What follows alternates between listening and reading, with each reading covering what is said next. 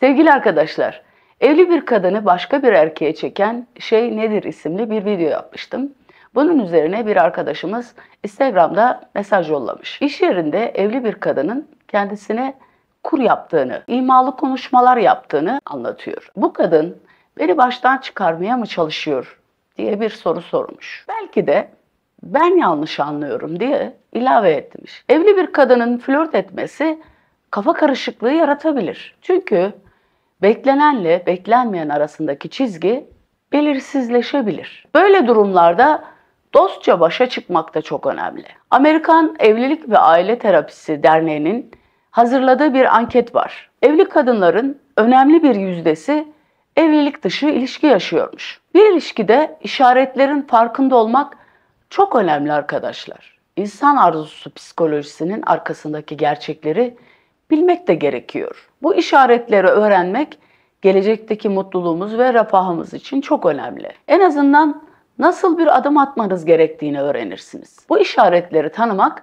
bilinçli bir karar vermemizi de sağlar. Böylece kalp kırıklığı veya hayal kırıklığı ile gafil avlanmayız. Araştırmalar şunu da gösteriyor ki arkadaşlar, kadınlar nazik bir yaklaşım sergilediklerinde flört ediyor gibi de görünebilirler. Bazen bunları arkadaşça bir davranış olarak da yorumlayabilirsiniz. Birazdan anlatacağım işaretleri bir bütünlük arz ederek kendinizce yorumlamalısınız. Anlatacağım işaretlerin kişiye özgü olmadığını, genel işaretler olduğunu da bilmelisiniz. Çünkü her birey farklıdır. Evli bir kadın sizden etkilendiyse duygusal ve romantik belirtiler de gösterebilir. Bu durum daha da karmaşık ve zorlayıcı olabilir. Evli bir kadın size ilgi gösteriyorsa bu tür durumlar sizin sınırlarınızı, onun evliliğini ve ilgili kişilerin de refahını etkileyebilir. Bu yüzden de bunları göz önünde bulundurarak dikkatle yaklaşmak çok önemlidir. Birinci maddede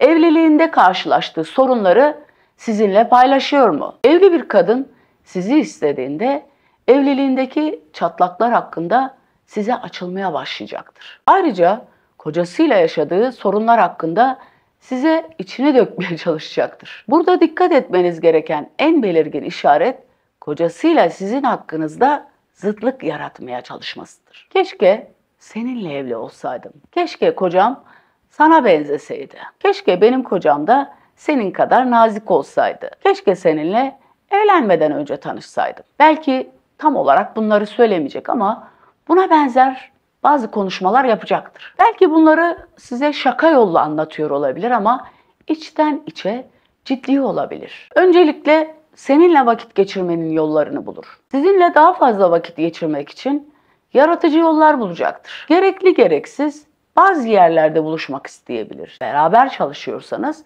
işi hakkında da sorular sormak için sizi randevuya da çağırabilir. Özellikle bu arkadaşın anlattığına göre sürekli karşılaşıyor. Bu bir tesadüf olamaz diyor. Genellikle arkadaşın anlattığı kadın evine bırakmaya çalışıyormuş. Bir kadın bir erkeğe ilgi duyduğunda onun dikkatini gizlice çekmeye çalışır. Eğer ikiniz önemli bir miktarda zaman geçirmeye başladıysanız burada bir hoşlanma başlamış olabilir. Arkadaşımızın mesajında anlattığı gibi kadın sosyal medyadan sürekli mesaj atıyormuş. Diğer işaretlerden birine de sosyal medya üzerinden iletişim kurması diyelim. Eğer size sürekli mesaj atıyorsa ve mesajlaşma sıklığını da artırıyorsa işte burada biraz düşünmeniz gerekebilir. Aynı şekilde sosyal medya üzerinde paylaştığınız fotoğrafları da sık sık beğenip iltifat ediyorsa ama bu belirtiye göre de bu kadın beni baştan çıkarmaya çalışıyor diyemeyiz. Şimdi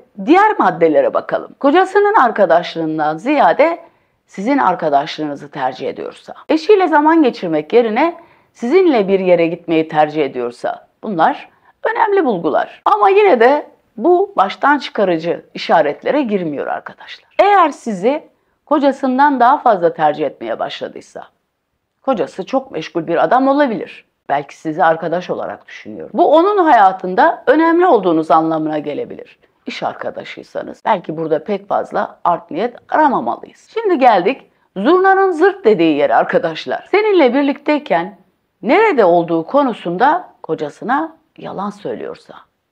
Bakın bu önemli bir işaret. Sizinle beraber bir yerde yemek yiyor ama kocasına diyor ki işten kız arkadaşlarımla takılıyorum. Onu sık sık evinden bir blok öteye bırakıyor musun? Telefonuna senin ismini bir kız ismi olarak mı kaydetti? Bu durumda da niyetini gizlemek için kocasından bir şeyler saklıyor demektir. En azından sizinle iş arkadaşlığı olsa bile bunu ondan saklıyor. Bir diğeri, hayatınızda biri var mı yok mu diye ilk öpücüğünüzden en büyük hayal kırıklığınıza kadar sorular soruyorsa ve sizinle ilgili her şeyi bilmek istiyorsa bunlar önemli bulgulardır. Bazen eski sevgililerinizle ilgili fotoğrafları da görmek isteyebilir. İlişkileriniz hakkında da kişisel sorular sorabilir. Hatta geçmişte birlikte olduğunuz kadını kıskandığına dair belirtiler görebilirsiniz. Diğer bir işaret, randevularınız hakkında konuştuğunuzda kıskançlık yapıyor. Yeni tanıştığınız bir kadından bahsediyorsunuz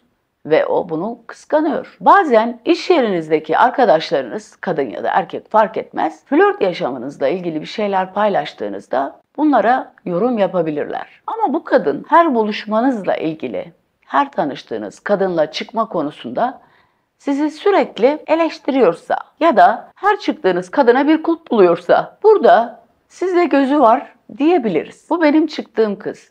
Bak bakalım güzel mi? Veya çıkacağım kız, yeni tanıştım dediğinizde kıskanç bir ses tonuyla karşılaşıyorsanız evet bu kadın size yoğun bir ilgi duyuyor demektir. Diğer bir işaret de sık sık onun bakışlarıyla karşılaşmanız. Konuşurken nadiren göz temasını keser. Sanki size çekilmiş gibi yoğun bir bakışla karşılaşırsınız. Eğer aynı çalışma alanını paylaşıyor ve karşılıklı oturuyorsanız hele bu bakışları sürekli yakalarsınız. Bu bakışlarda ne gördüğünüzü anlamak da gerçekten çok önemli. Nasıl bir anlam içerdiğini aslında erkekler çok kolay sezinleyebilir. Bir diğer işaretse sizinle genellikle yalnız olmak ister. Etrafında başka kimsenin olmasını istemez. Buluşma planları yapar. Yalnız gelmeniz için de ısrar edecektir. Bu yalnız kalma isteği daha kişisel bir bağ kurmak istediğinin bir göstergesi. Bu özel anlarda davranışlarına çok dikkat etmelisiniz.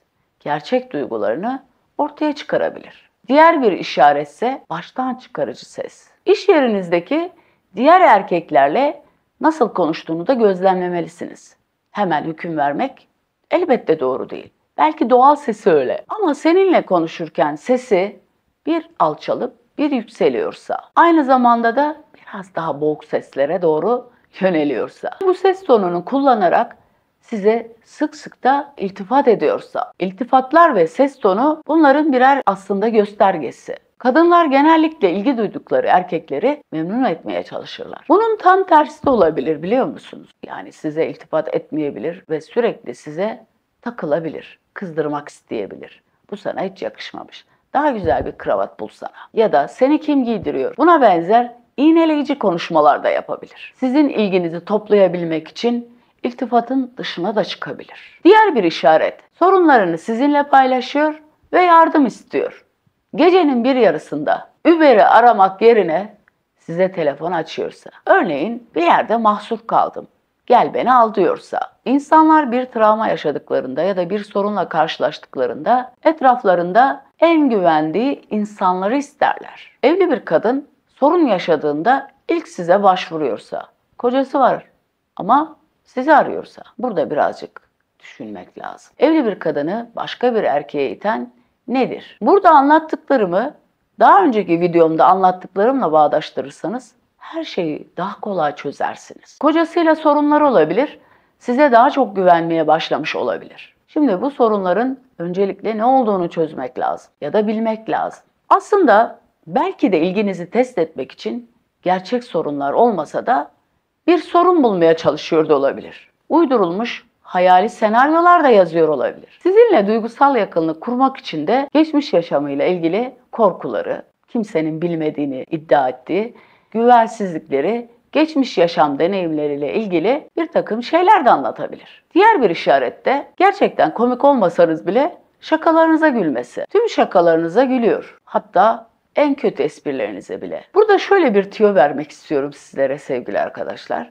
Bir kadın bir erkekle ilgilendiğinde onun yerli yersiz yaptığı esprilere gülmeye çalışır. Onun şakalarına güler ki egosu yükselsin. Bir diğer işaret de senin yanındayken iyi bir ruh halinde olması. Seni her gördüğünde neşeyle parlayıp mutlu oluyor mu? Herkes ilgi duyduğu birinin yanında kendini mutlu hisseder. Belki sizden çok çok hoşlandığı için sadece iyi tarafını göstermeye çalışıyor da olabilir. Çünkü kendini sizin için çekici kılmaya çalışıyordur. Diğer bir işaret, daha önceleri böyle değilken şık giyinmeye başladı. Etrafınızdayken görünüşüne çok daha fazla önem vermeye başladıysa, daha önce görmediğiniz kıyafetler giyiyorsa, makyajını daha canlı yapmaya başladıysa, bunlar sizi baştan çıkarmaya çalıştığının işaretleri olabilir. Giydiği kıyafetler ve makyajı bir yana size müstehcen fıkralar anlatmaya başladıysa, burada tepkinizin ne olacağını görmek için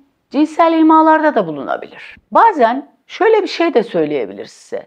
Bu gece seni rüyamda gördüm. İnsanlar sürekli meşgul oldukları insanları rüyalarında görme eğilimindedirler. Rüyalar kadınların ya da erkeklerin duygularını ifade etmesinde önemli bir vazife de görebilirler. Sık sık sizi rüyasında gördüğünü anlatabilir ama romantik kısımları atlayabilir. Bir diğer işaret de sizin hakkınızda küçük şeyleri fark eder. Yeni bir kot aldınız, yeni bir kıyafet aldınız. Kol saati olabilir, aksesuar olabilir. Yani başka hiç kimsenin fark etmediği küçük detayları önce o fark ediyorsa. Bir kadın ilgilendiği bir erkeğin kıyafetlerine, aksesuarlarına dikkat eder. Yaptığınız konuşmadaki her detayı kelimesi kelimesine hatırlıyorsa, sizinle şefkatli bir şekilde konuşuyorsa, sık sık halinizi hatırınızı soruyorsa, hastalandığınızda sürekli bir şefkat hali etrafta dolaşıyorsa, bu kadın gerçekten size karşı büyük hisler besliyordur. Duygusal tavırlarla